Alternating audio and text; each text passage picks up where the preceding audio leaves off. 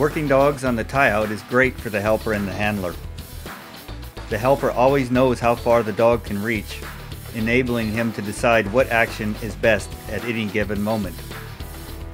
If the dog becomes lower in aggression, it is easy for him to frustrate the dog to increase the drive levels.